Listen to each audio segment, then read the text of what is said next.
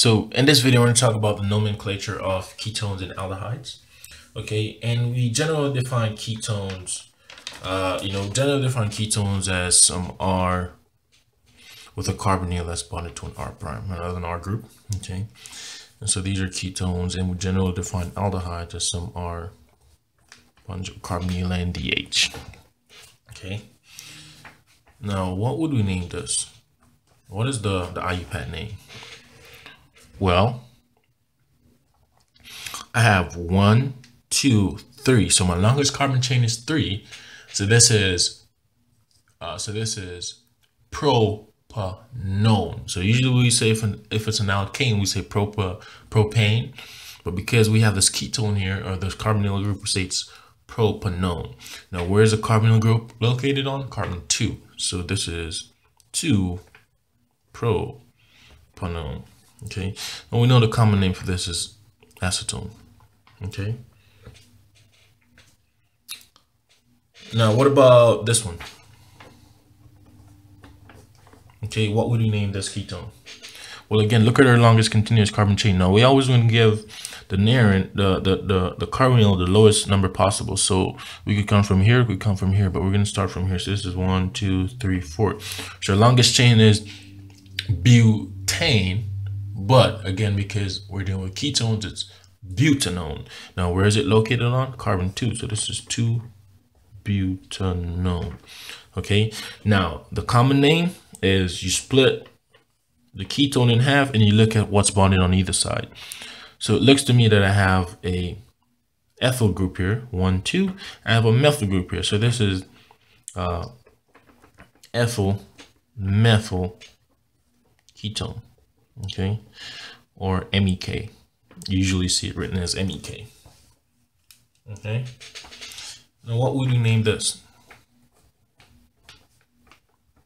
Okay, what would we name this compound here? Well, again, again, my cloud, my I'm going to look at my uh, uh, my longest continuous chain. So this is one, two, three, four, five. In this case, it doesn't matter where we come from. We'll still get the ketone of carbon three. So this is three penta no. Okay. Let's look at a slightly more complicated one because these are pretty, fairly simple to name. So what if we're given this?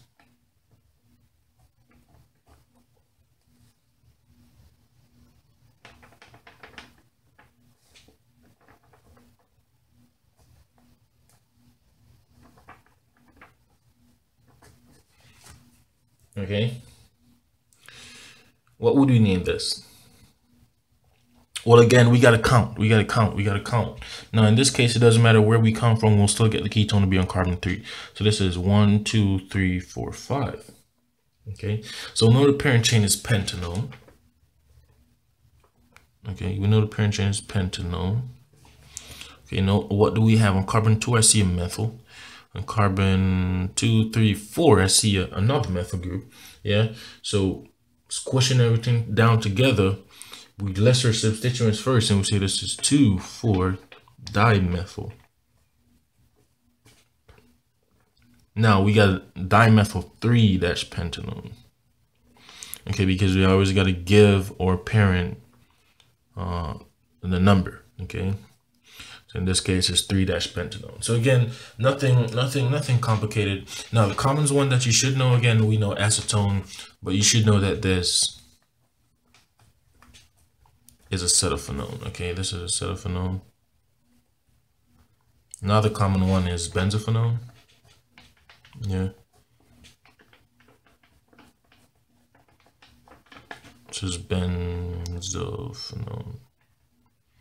And this is not including name press. I just want to throw these out. But again, this is the process of naming ketones. Now, what about aldehydes? What would what would we name this? Okay. What's the what's the the IUPAC name? What's the common name? Well, again, we're gonna name we're gonna count our carbon. So I only have one carbon here. Okay, so we know this corresponds to methane, but because we're dealing with aldehydes, yeah, we're dealing with aldehydes it's not methane, it's methanal. So my Al. So it's like an alcohol, but I'm replacing the parent, uh, the, the, the, the suffix at the end is an AL, okay? So not methanol, but methanal. Okay, now we all know this is formaldehyde. Okay. Used as a preservative, okay? So formaldehyde. Okay. Now what would we name this one? Okay. What would we name this one? Well, again, let's count our longest continuous carbon chain. So this is one, two. So that's methane, ethane. So we know in terms of alkane, this would be ethane, but because we're dealing with aldehydes, we say this is ethanal. Ethanal. Now, the common name for this is acetaldehyde. Acetaldehyde, okay? Now this one, what about this one? Okay, again, one, two, three. The longest chain is propanal. So, and we have no substituent. So this is just uh, propanal. Now you're always going to give your aldehyde the lowest carbon possible. So we start from here and we say this is one, two, three. Okay. Now the common name for this is propionaldehyde. Again, the common name is not very important. Um, what we should know is how to name these uh, using the IUPAC system. So let's look at a slightly more complicated one. So what if we wanted to name this?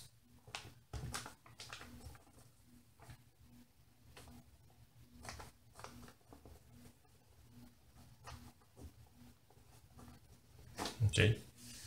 How would we name it? Well, to me, in terms of the IUPAC ranking order, an aldehyde is always ranked over an alcohol. So the parent is going to be uh, based off the aldehyde. Now, what's the longest continuous carbon chain? Starts from the aldehyde. So we have one, two, three, four, five, six, seven. So it looks to me that the longest continuous chain is heptanal. Heptanal. The only thing left is just I'm looking at my substituents. So on carbon six, I have a chloro. And the carbon 3, as a substituent OH, you call it hydroxy. Hydroxy. So this is a hydroxy, okay? Hydroxy as a substituent.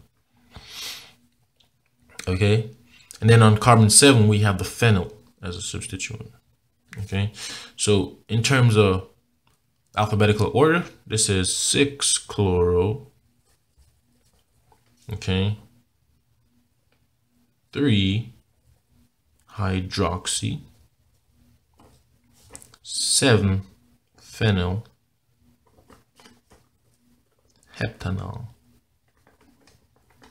Okay, heptanal is just squish all those down together.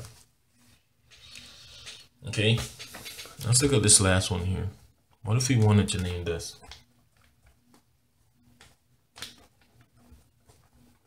Okay, what would we name it? Well, again, I see that in terms of uh, nomenclature order, um, an aldehyde is ranked above a ketone. So my parent chain will, will be res with respect to the aldehyde. So if I'm counting respect to the aldehyde, I know this is carbon one, two, three, four, five. So I have five. So the parent chain is pentanal. Okay, and then on carbon three, I see a chlorine. So this is three chloro. And carbon four, a carbonyl as a substituent is it's called an oxo. Oxo. So this is for oxo, yeah, which represents my, my carbonyl as a substituent. So if I'm looking at this in terms of alphabetical order, this is 3-chloro, 4-oxo, pentanal. And that's it. Um, pretty much nothing difficult.